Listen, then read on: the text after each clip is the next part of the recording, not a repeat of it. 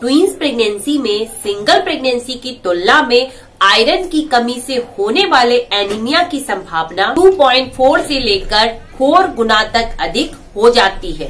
Twins pregnancy में iron की demand बहुत ज़्यादा ही बढ़ जाती है। सिंगल प्रेगनेंसी की तुलना में ट्विंस प्रेगनेंसी में जो आयरन की आवश्यकता होती है, वो 1.8 गुना तक अधिक हो जाती है। और आपकी बॉडी में जो प्रेगनेंसी के दौरान हीमोग्लोबिन का जो लेवल होना चाहिए, वो 12 से ऊपर होना चाहिए। अगर 12 से नीचे जाता है तो आपको अपनी खिलाई पिलाई पर विशेष ध्यान देने की ज़रूरत है, क्योंकि आपकी बॉडी में आयरन की कमी तीन वजह से होती है, एक होती है आयरन की वजह से, दूसरी होती है फॉलिक एसिड की वजह से, एंड तीसरी होती है विटामिन बी ट्वेल्व की वजह से। तो आपको इन तीनों को ही लेना है, ताकि आपकी बॉडी में आयरन की कमी जल्दी से जल्दी पूरी हो सके। ट्विंस प्रेगनेंसी के दौरान माँ और बढ़ते बच्चे के लिए, एंड प्लासेंटा के लिए, एंड ऑक्सीजन के लिए अधिक आयरन की आवश्यकता होती है। प्रेगनेंसी के दौरान आयरन की प्रतिदिन 27 मिलीग्राम तक ज़रूरत होती है, जो कि बिना प्रेग्नेंट महिला की तुलना में 9 मिलीग्राम तक अधिक होती है। प्रेगनेंसी के दौरान जब आप अपनी डाइट में अच्छी मात्रा में आयरन नहीं लेती हैं, आपके बॉडी में जो आयरन का भंडार होता है वो धीरे धीरे खत्म होने लगता है जिस वजह से आपकी बॉडी में आयरन की कमी हो जाती है। आपको आयरन की कमी से होने वाला एनीमिया भी हो सकता है। एनीमिया का मतलब होता है कि आपकी बॉडी में ब्लड की मात्रा का कम हो जाना। अब हम आपको एनीमिया के लक्षण बताने वाले हैं।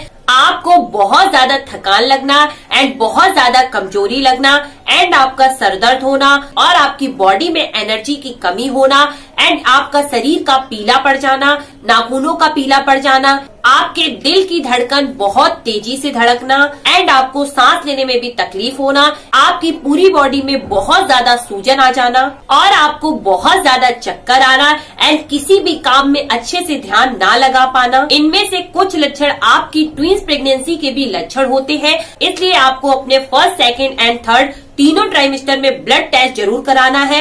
तभी आपको क्लियर होगा कि आपके जो ये लक्षण है, वो एनीमिया की वजह से है या फिर प्रेगनेंसी की वजह से है। ट्विंस प्रेगनेंसी में जो आपको एनीमिया की शिकायत हो जाती है, अगर इसका टाइम पर ट्रीटमेंट ना किया जाए तो आपको टाइम से पहले डिलीवरी कम वज़न वाले बच्चे के साथ होने के बहुत ज़्यादा चांस हो जाते हैं।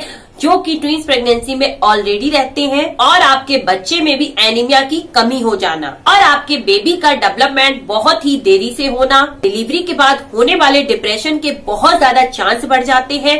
इसलिए अगर आपकी बॉडी में आयरन की कमी हो रही है तो आपको इस पर बहुत ही ज़्यादा ध्यान देने की ज़रूरत है।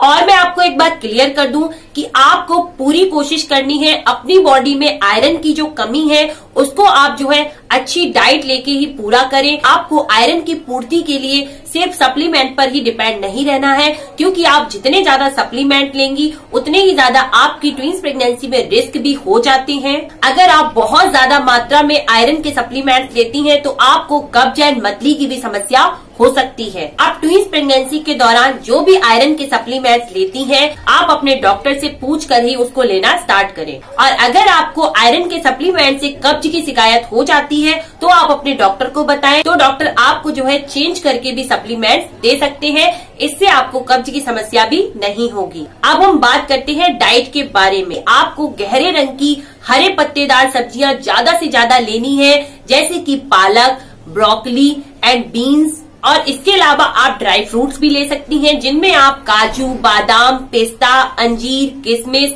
इनका सेवन ज़रूर करें, क्योंकि इनमें बहुत ही अच्छी मात्रा में आयरन पाया जाता है। आप जो है चुकंदर, टमाटर, एंड गाजर, जामुन, एंड पका हुआ अमरूद, एंड आप गुड़ और मूंगफली के दाने, केला, सेब, अनार, और अनाज में ओट्स है, सारे वेजिटेबल्स डाल के दलिया बना लें, नमकीन, और आप ब्राउन राइस एंड आप होल ग्रेन ब्रेड का भी सेवन ज़्यादा से ज़्यादा ज़रूर करें। आप डेली जो है बदल बदल कर चीज़ों का सेवन करें। इसके अलावा आप घर पर बनाकर कुछ जूस ले सकती हैं।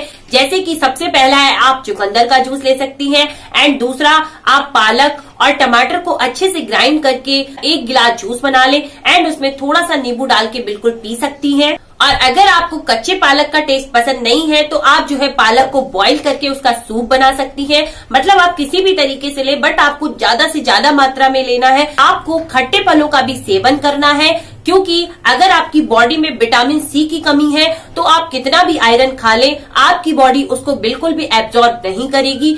इसलिए आपको आयरन के साथ साथ अपनी बॉडी को पूरी तरह से विटामिन सी भी देना है, जिसमें आप कीवी फल एंड आप संतरा और नींबू का सेवन ज़रूर करें। अगर हो सके तो आप एक कीवी फल डेली खाएँ, इससे आपको बहुत ही ज़्यादा फ़ायदा मिलेगा।